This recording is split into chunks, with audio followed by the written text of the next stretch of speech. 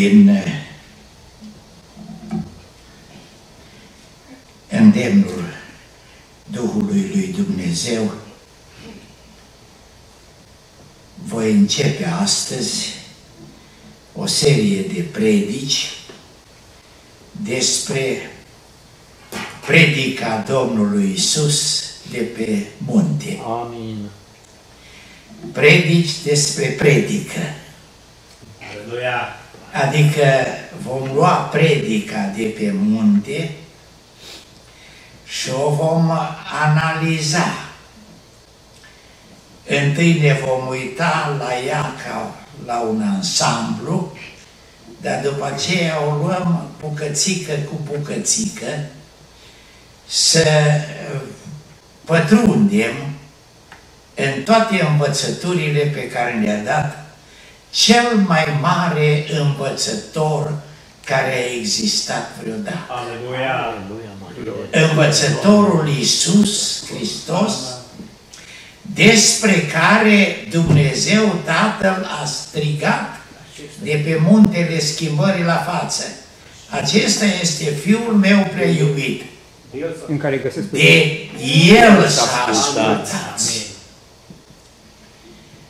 Predica de pe munte, pot să zic că a fost dragostea mea de o viață. În 1956, asta înseamnă acum 60 de ani, cam pe vremea aceasta, am devenit pastor la Biserica Speranța Baptistă din Arad. Aveam 22 de ani. Am fost un an și jumătate păstor acolo. Și în timpul acesta, un an de zile, am predicat numai din predica de pe munte. Pe atunci nu existau instrumente de înregistrare, așa că ce am predicat atunci a fost pentru cei de atunci. Acum avem instrumente de înregistrare și putem să ne uităm înapoi la ce am predicat cândva. În anii 80 eram în exil, locuiam lângă Chicago, în orășelul Wheaton, Illinois, și duminica predicam la Europa Liberă, la radio. Înregistram predicile într-un studio din Wheaton, Illinois, le trimiteam la New York, de la New York intrau în uh, valiza diplomatică, erau trimise la München și din uh, biroul de la München al Radio Europa Liberă se transmiteau în România. Prin anul 1988, dacă nu mă înșel, am început să predic despre predica de pe munte. Și am predicat bucățică cu bucățică tot capitolul 5. Și apoi s-a prăbușit comunismul. N-am mai continuat capitolul 6 și 7. Am publicat într-o carte intitulată Predica de pe munte, tot ce am predicat atunci din Matei 5 și deci cartea aceea, Predica de pe munte, e numai capitolul 5. Mulți frați de atunci m-au rugat să continui să predic și din capitolul 6 și 7.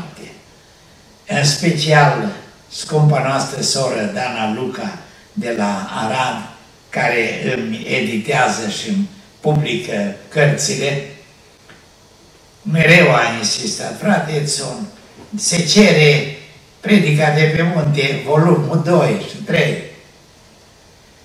Și i-am tot promis că voi face, voi face și cred că acum a sosit vremea. Aleluia! Numele Domnului. Pentru că cu ajutorul lui Dumnezeu, după ce parcurgem capitolul 5, vom intra în 6 și 7 și voi avea de grijă ca alea să se lege de ce am predicat din capitolul 5 și să formăm uh, uh, volumul 2 sau 2 și 3, depinde cât de lungi vor fi. Așadar,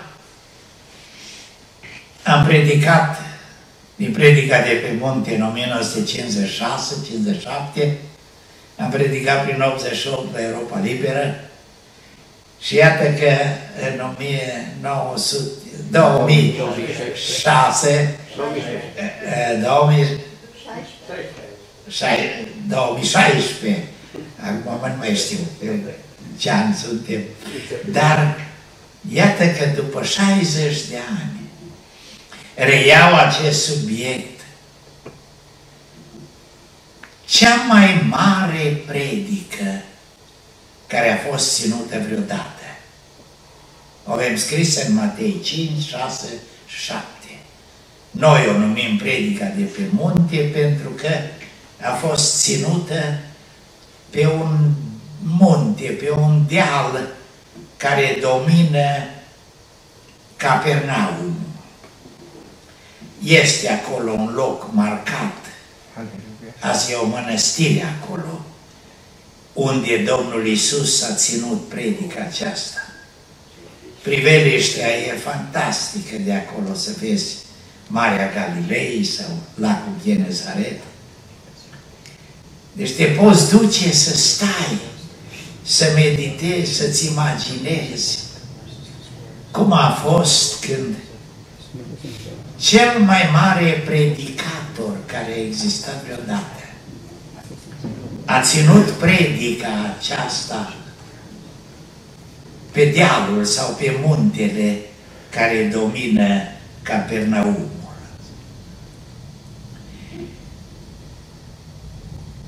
Mă apropiu cu sfială, cu reverență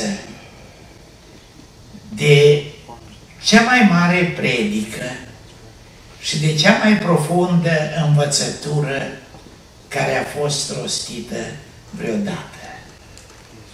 Subiectul ei ne e spus în Matei 4 cu 17.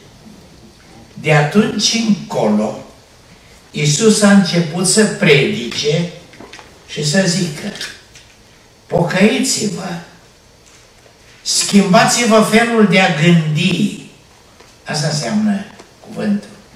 Schimbați-vă felul de a gândi, pentru că împărăția cerurilor este aproape. Versetul 33. Iisus străbătea toată Galileea, învățând pe norod în sinagogi, predicând Evanghelia împărăției și vindecând orice boală și orice neputință din norod.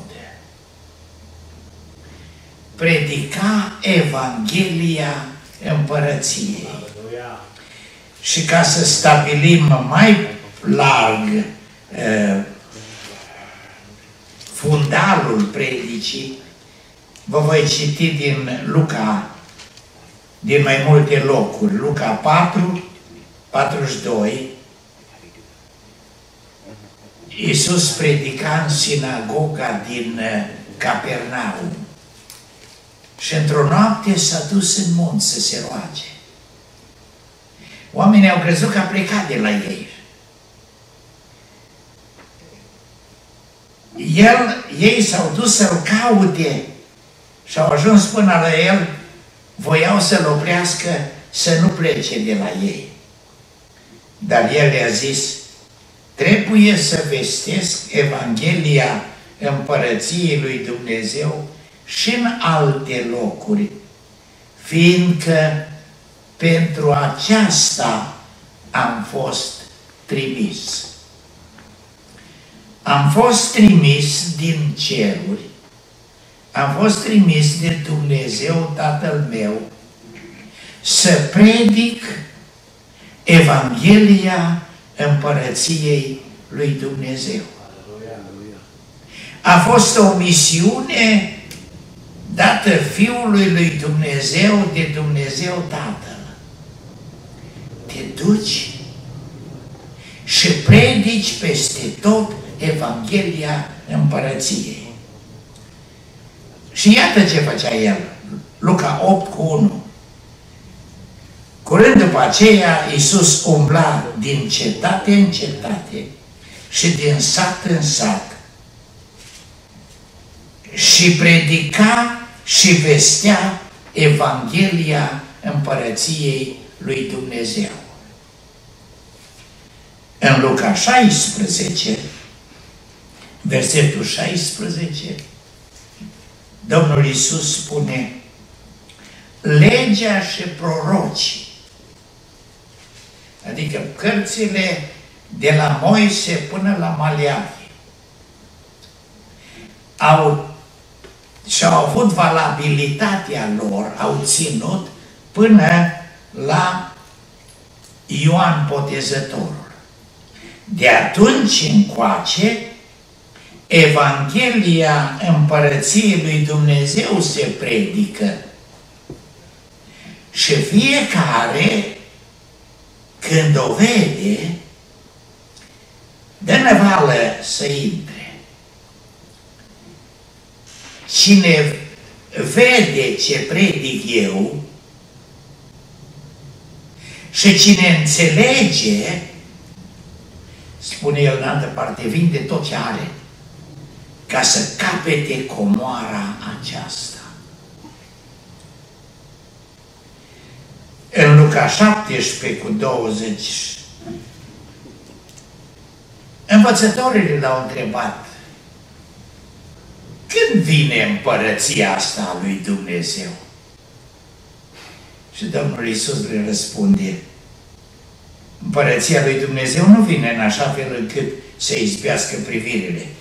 Nu se va zice, uite aici, uite acolo, căci iată că împărăția lui Dumnezeu este în voi. Aleluia! Textul acesta, în unele versiuni, îl găsit, împărăția lui Dumnezeu este în mijlocul vostru. Cuvântul entos humos poate însemna și în voi și în mijlocul vostru. Împărăția lui Dumnezeu este între voi pentru că eu sunt împărăția lui Dumnezeu.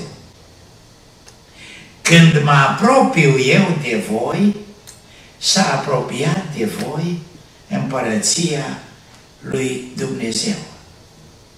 Teologii din Evul Mediu au înțeles asta și au pus-o în limba care foloseau ei atunci, limba latină, ubi Christus, ibi regnus Dei. Unde este Hristos? Acolo e împărăția lui Dumnezeu. Împărăția lui Dumnezeu e aproape de voi. Pentru că a venit până la voi acum, prin persoana mea. Deci împărăția e între voi, circulă printre voi, se plimbă printre voi. Și în același timp e în voi. Adică împărăția lui Dumnezeu vrea să se instaleze în voi. Ceea ce vă ofer eu acum e instalarea împărăției lui Dumnezeu în fiecare dintre voi. Împărăția lui Dumnezeu e o problemă de interiorul omului. În acest sens, împărăția lui Dumnezeu e caracterul lui Dumnezeu. Manifestat de Domnul Isus, care zice, veniți la mine și învățați de la mine. Pentru că eu sunt blând și smerit cu inima. Împărăția lui Dumnezeu este să fii ca mine. Eu sunt împărăția lui Dumnezeu. Când devii ca mine, ești și tu împărăția lui Dumnezeu. Împărăția lui Dumnezeu înseamnă asemănare cu Dumnezeu și cu Domnul Isus. Încă un singur lucru pe care ne-l spune Domnul Isus și vi-l dau ca introducere este Faptele Apostolilor 1 cu 3. Tot Luca scrie și cartea asta. După patima lui, scrie Luca, li s-a înfățișat viu, prin, prin multe dovezi, arătându-li se deseori timp de 40 de zile și vorbind cu ei despre lucrurile privitoare la împărăția lui Dumnezeu. Ce vreau să subliniez aici este că Domnul Isus, de la început până la sfârșit, avea un singur subiect de predică și un singur subiect de discuții. Pentru că atunci când a început să le vorbească în pilde, pildele sunt toate despre împărăția lui Dumnezeu. Împărăția lui Dumnezeu se mai aseamănă cu. Împărăția lui Dumnezeu se mai aseamănă cu. În predicile lui și în pildele lui, Domnul Isus avea un singur subiect. Împărăția lui Dumnezeu sau împărăția cerurilor. Dacă Domnul Isus, Fiul lui Dumnezeu întrupat, nu avea de discutat nimic altceva decât despre împărăția lui Dumnezeu. Dacă vrem să ascultăm de El, care trebuie să fie subiectul nostru cel mai de seamă? Împărăția lui Dumnezeu. Dar de ce nu-L ascultăm? De ce nu ne facem din împărăția lui Dumnezeu subiectul nostru numărul unu? Domnul Isus ne spune în Matei 6 cu 33 Căutați mai întâi împărăția lui Dumnezeu și dreptatea Lui. Și atunci Dumnezeu se obligă să vă asigure că aveți toate celelalte. Dacă voi vă faceți din împărăția Lui subiectul vostru de căutare, de cercetare și de trăire, și dacă vă faceți din dreptatea Lui modelul vostru, Dumnezeu se obligă să vă poarte de grijă în toate domeniile.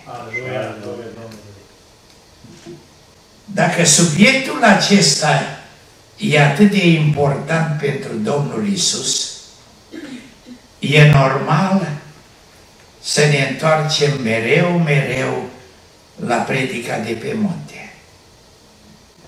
Pentru că e evident că Matei, vorbind despre ceea ce predica Domnul Isus, fie el predica Evanghelia Împărăției, după aceea, în mod normal, el zice, a văzut noroadele, s-a urcat pe muntele din apropiere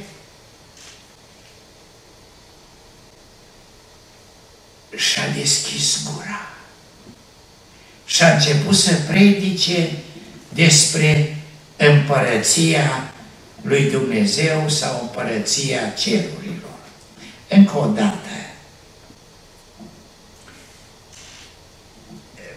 subiectul împărăția lui Dumnezeu îl găsim în toate patru Evangheliile.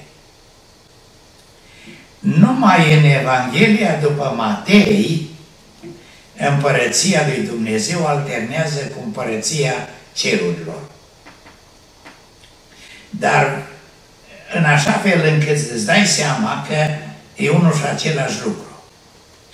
Deci, în Matei apare și expresia împărăția lui Dumnezeu și împărăția cerurilor. E evident, repet, că sunt unul și același lucru. Dar să facem și distinția.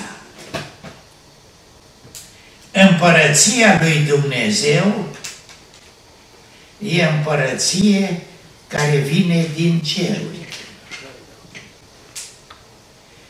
Matei 6 cu 10. Rugați-vă să vie împărăția lui Dumnezeu, adică să se facă pe pământ voia lui Dumnezeu cum se face în ceruri. Împărăția lui Dumnezeu vine pe pământ când pe pământ se face voia lui Dumnezeu ca în ceruri. Împărăția lui Dumnezeu e cerul venit pe pământ. Împărăția lui Dumnezeu este cerul venit pe pământ.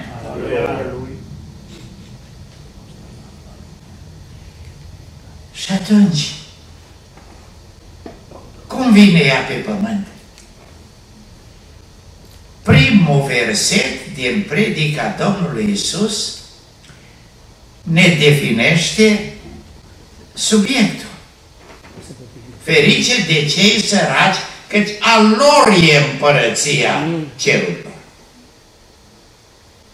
În aceștia a coborât cerul. Fericiți sunt cei săraci în Duh, pentru că împărăția de care vorbesc eu e în ei.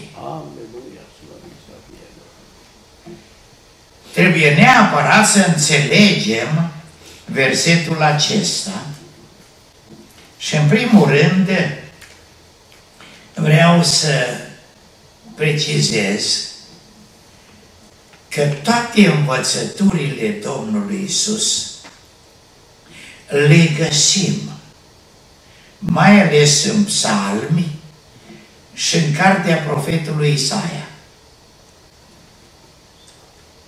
Aș putea să mă duc bucățică cu bucățică și să vă arăt că toate învățăturile Domnului Isus din predica de pe munte le găsim în psalmii lui David și le găsim în cartea lui Isaia.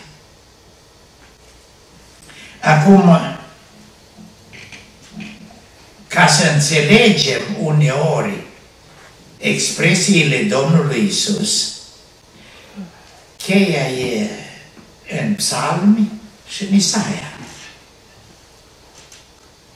Ce înseamnă cei săraci în Duh?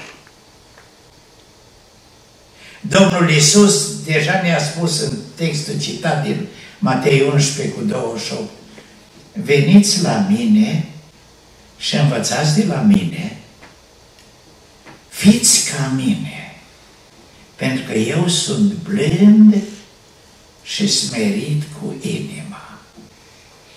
Fiți atenți!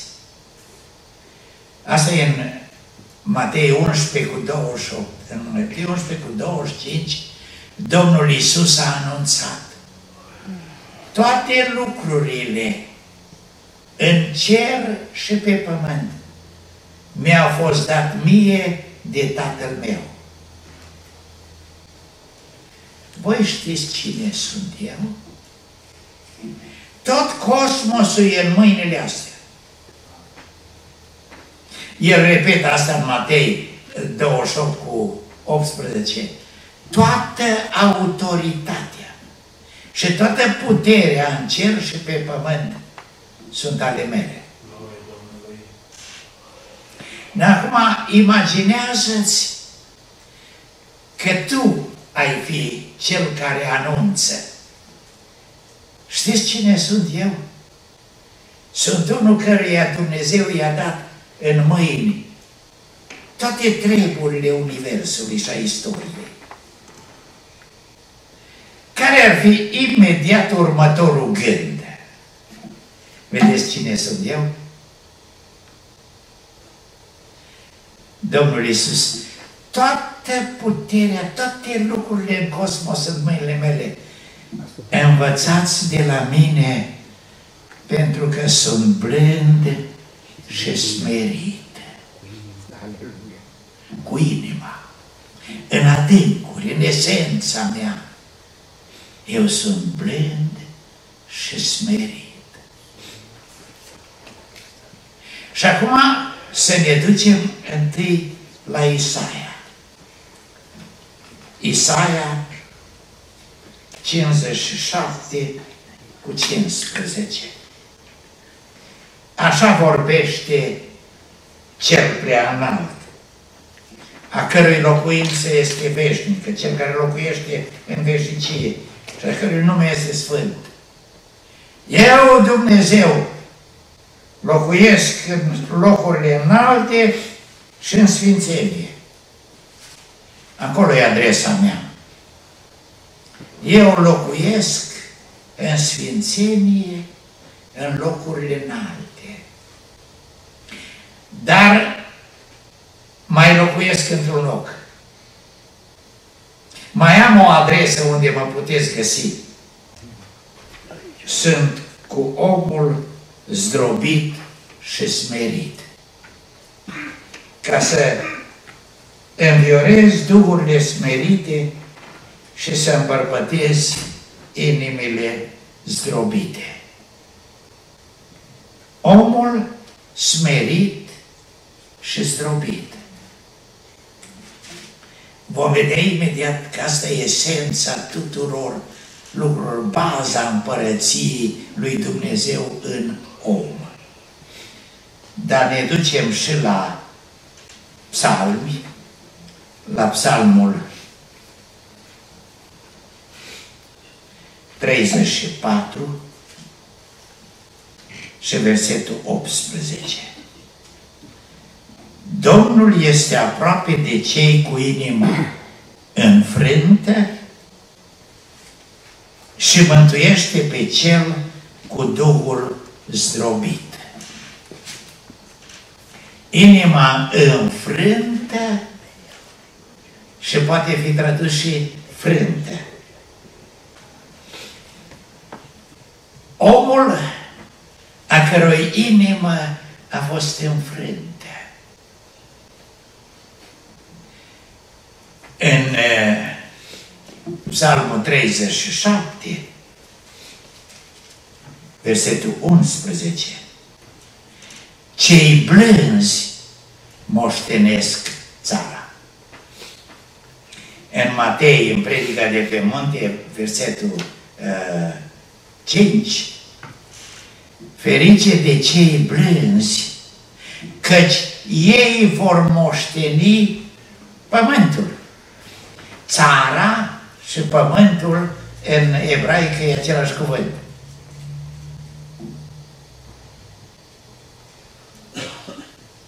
Ca să înțelegem ce înseamnă om blând, om smerit, om zdrobit, inimă înfrântă, inimă frântă, vă dau o pildă. Calul sălbatic. Trăsătura fundamentală a calului sălbatic este mândria și independența. Eu nu vreau să am stăpân. Nimeni să nu pună șeaua pe mine. Mândru, independent, nimeni să nu-mi porncească, nimeni să nu zică ce să fac eu. Și știți ce se întâmplă? Un călăreț priceput sare călare pe el, i-a pus frâu și acum calul nărăvaș, mândru, care nu dorește să aibă pe nimeni în spate, începe să sară și picioarele dinainte și cele dinapoi, cumva să-l arunce pe omul ăla din spate. Și se luptă, și se luptă, și se luptă. Și la un moment dat, văzând că nici cum nu-l poate dărâma sau da jos, pornește să alerge. Crezând că alergând, alergând, alergând, cumva se scapă de el. Și când aleargă până nu mai poate, la un moment dat se oprește. Și călărețul efectiv simte că ceva s-a frânt în cal. Calul acela a fost înfrânt de călăreț și s-a frânt. Și zice, ok, accept să am stăpân. și din ziua aceea, noi zicem, a fost îmblânzit. A acceptat să aibă stăpân.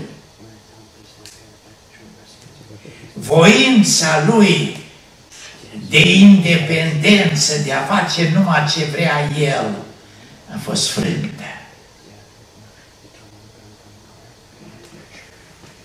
Ferice de omul sărac în Duh. Ferice de omul smerit și zdrobit și blând. Ferice de omul care a renunțat să-și mai fie stăpân. Ferice de omul care a acceptat ca Dumnezeu să stea pe tronul vieții Lui.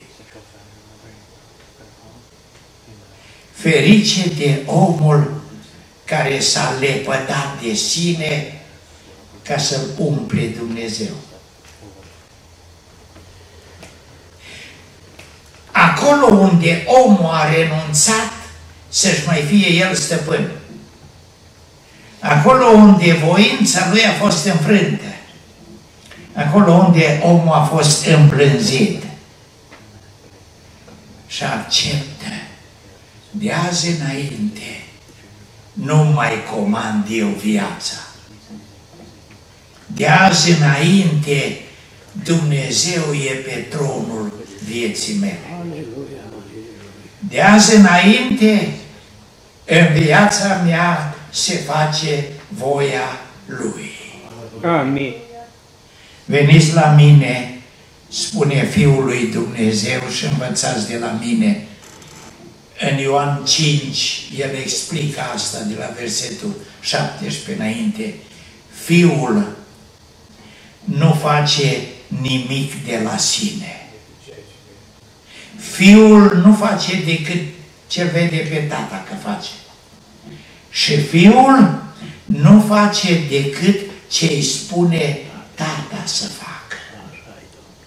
Fiul face numai voia lui tata. Învățați de la mine, tata e împăratul meu. Tata îmi conduce viața. Și de aceea eu sunt împărăția lui Dumnezeu. Ibi Christus. Ubi Christus. Unde e Hristos? Ibi regnus Dei. Acolo e împărăția lui Dumnezeu. Ferice de omul care a acceptat zdrobirea. Zdrobirea propriului eu, neîmplânzit. Ferice de omul care s-a golit de sine smerindu-se și zicând, niciodată nu mai stau eu pe tron. Dumnezeu stă pe tronul vieții mele. Și Dumnezeu zice, eu care locuiesc numai în locurile înalte, când văd un asemenea om, viu să locuiesc în el. Aleluia! Iată, dragii mei, definiția cea mai simplă și mai importantă a împărăției lui Dumnezeu. E aici, chiar la începutul predicii de pe munte. Ce înseamnă împărăția lui Dumnezeu? Împărăția lui Dumnezeu înseamnă locul unde Dumnezeu este împărat. El e împărat în ceruri. Acolo nu se face decât voia Lui. Dar Dumnezeu vrea să facă și pe pământ ca în ceruri. Și El zice, n-ai vrea să coboare cerul pe pământ? N-ai vrea să coboare cerul în tine? Cerul întreg vrea să coboare în tine. Dacă accepti să cobor eu în tine. Dacă mă accepti pe mine ca împărat al tău. Te dai jos de pe tronul vieții tale, renunți să-ți mai comanzi tu și accepti să mă întronezi pe mine ca împărat al tău. Și cerul întreg coboară în tine când Dumnezeu coboară în tine. Ferice de cei ce s-au golit de ei înșiși ca să-i umple Dumnezeu. Ferice de cei ce s-au lepădat de ei. Și atunci Dumnezeu cu cerul lui coboară acolo.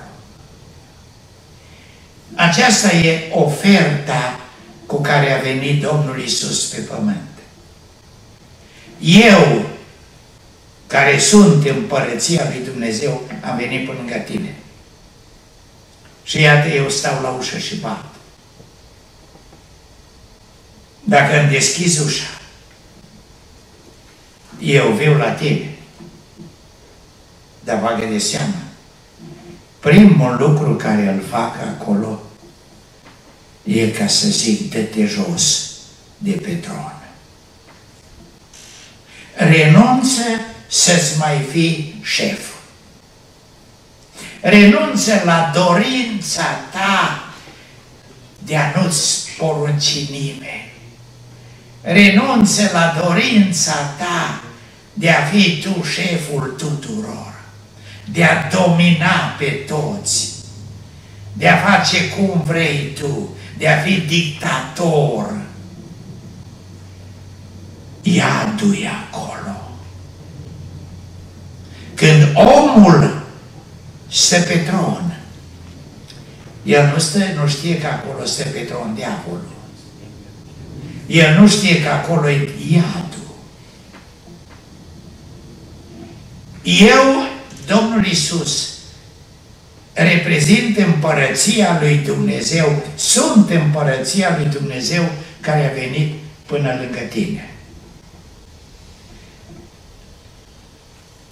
Acum știm că împărăția lui Dumnezeu înseamnă să mă golesc de mine, să renunț la independență, să renunț la dorința de a-mi fi șef, să accept să mă frâng, să accept să mă zdrobesc, să accept să mă leapă de mine, să accept că pe tronul vieții mele stă Dumnezeu însuși. Aleluia, Aleluia.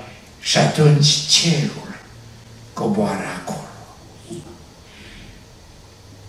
Ca introducere încă, trebuie să vedem că Domnul Isus începe predica cu cuvântul fericit. Fericit este omul care e așa. Fericit e omul care e așa. Fericit omul care e blând. Fericit omul care e flămând după dreptate. Fericit omul care e milostiv. Fericit este omul cu inima curată. Fericit este omul care știe să facă pace. Cuvântul cheie e fericit. Lucru pe care vrea să-l aducă Domnul Isus în noi este fericirea. Aleluia. Am accentuat cerul întreg vrea să coboare acolo. Și când e cerul în tine, e fericirea în tine. Pe Dumnezeu îl interesează fericirea ta. Dumnezeu nu vrea să vină la tine și să zică, ascultă, de acum îți comand eu și îi vai de tine. Dumnezeu zice, eu vreau să viu în tine ca să aduc cerul în tine. Eu vreau să te fac fericit. Ascultă, omule, eu vreau să te fac să semeni cu mine. Și când semeni cu mine, ești plin de iubire, ești plin de bunătate, ești plin de toate trăsăturile mele dumnezeiești. Astea sunt fericirea ta.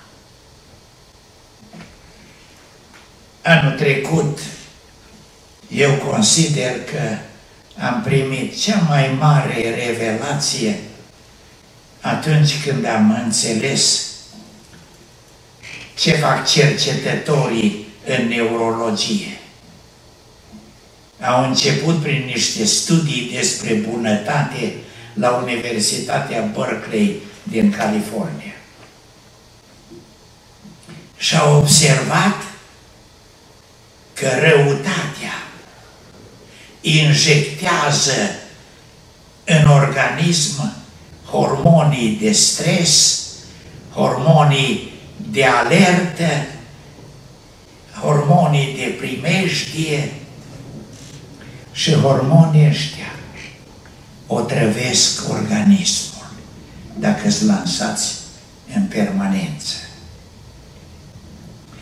Și ei au observat că dacă îl aduc pe om într-o stare de bunătate și de iubire, dintr-o dată organismul lui pompează hormonii de fericire, hormonii de vindecare, hormonii de împlinire, de satisfacție.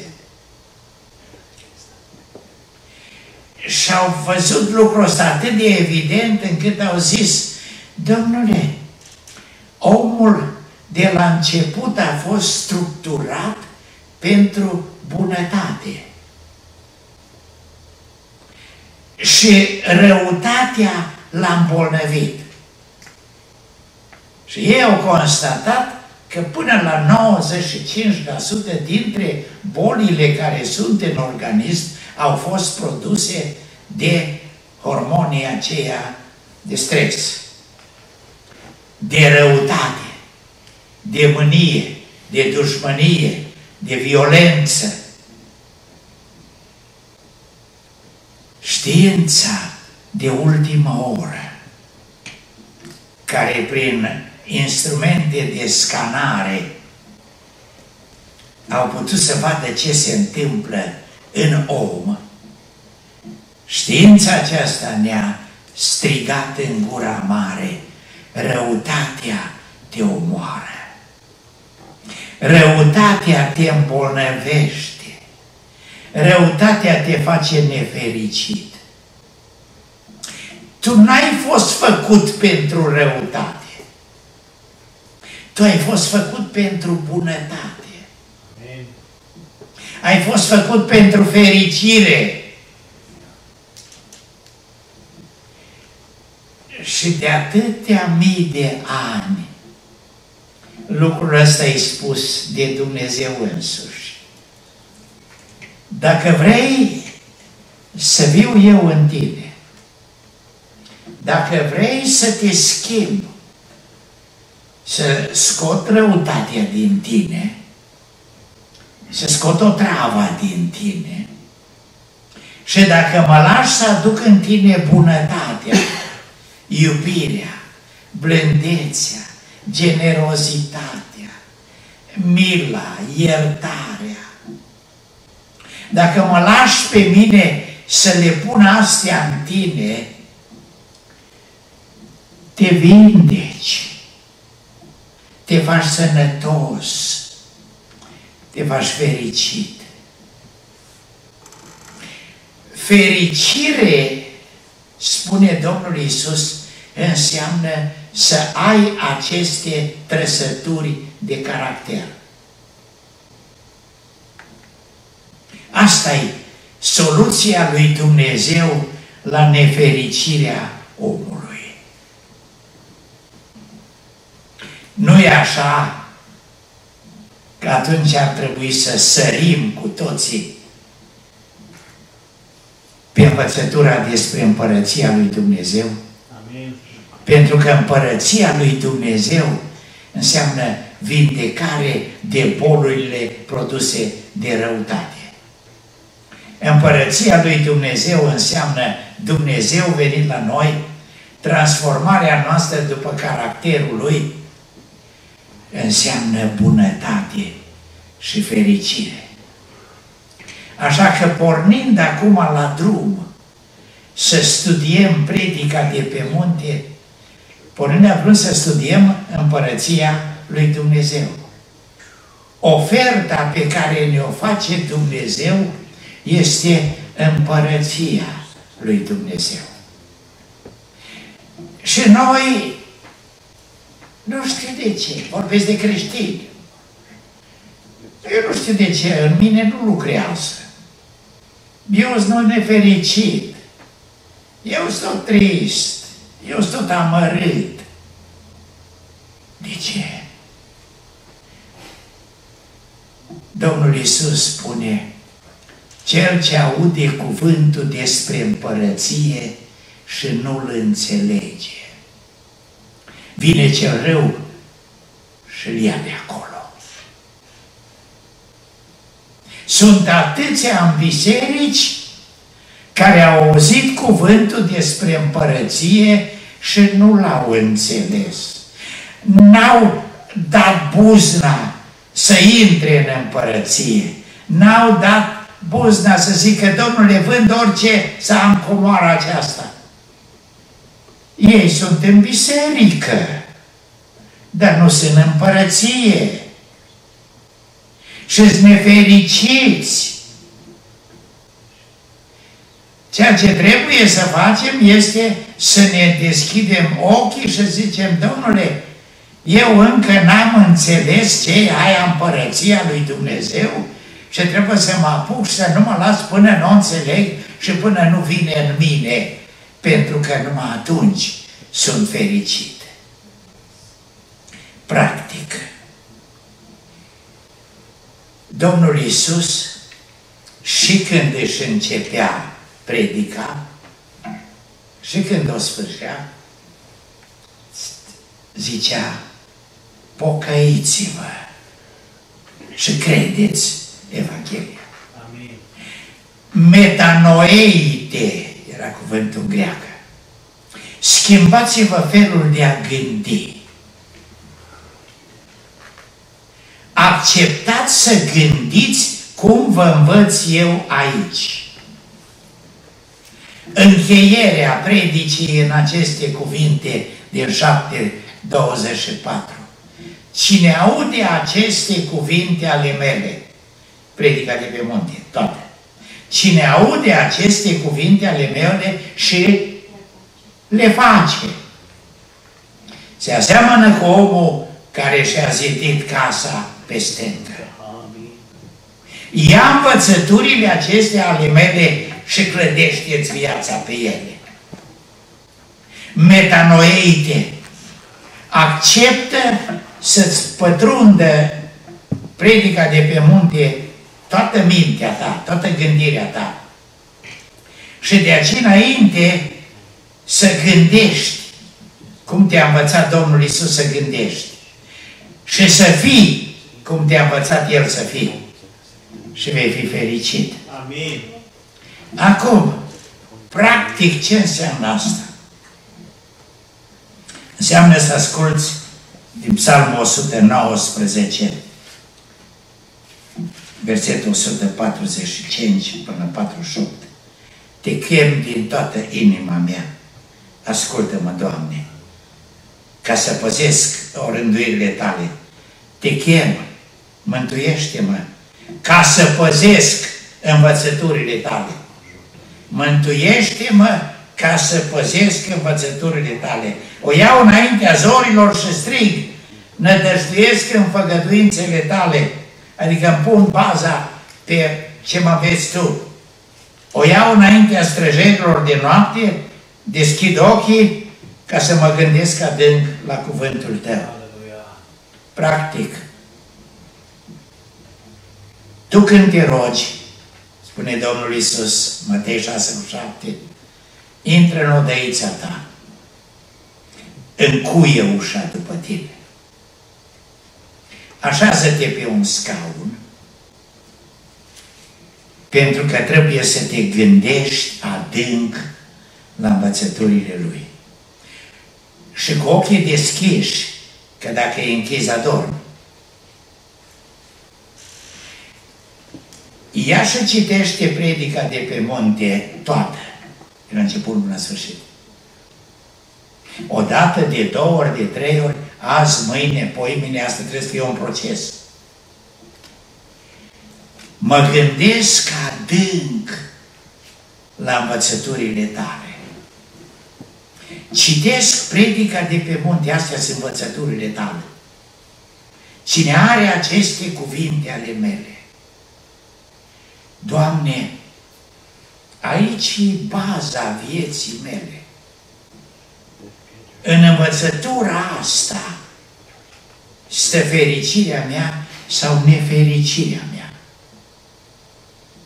Acum vreau să o înțeleg, vreau să o imprim în mintea mea și să trăiesc după asta. Citește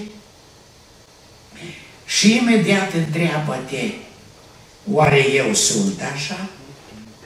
Oare eu fac așa? Selectează locurile unde tu nu ești așa. Cu ochii deschiși, Doamne, acum înțeleg eu de ce nu sunt așa. De ce nu sunt fericit? Pentru că nu sunt așa. Doamne, îmi dau seama că eu până acum nu te-am auzit. Eu până acum nu te-am ascultat, n-am băgat în seamă învățăturile astea.